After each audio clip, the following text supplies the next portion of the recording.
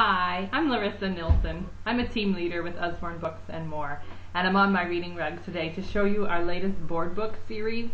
Uh, this one is called Splish Splash Seahorse. These are our snapper board books. Super fun concept. I'll show you here in a second. We have uh, four in this series right now. There's a toucan and a mouse and a seahorse and a hippo. These are board books, so they're going to be good for the littlest of readers, and they are $7.99 each.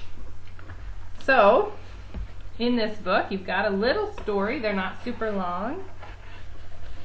Um, the text is mainly sounds that the seahorse is hearing. So it's not a huge storyline, but there are words to read on the page. The fun part is when you get to the end, there's a little tab to pull, and when you pull it, it makes the snapping motion. So of course the little readers are going to love that.